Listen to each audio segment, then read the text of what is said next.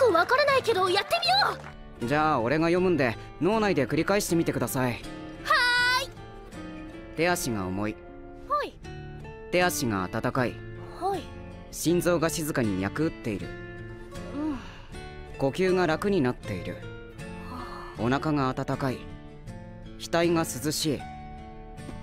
どうです？少し落ち着きましたか？起きて。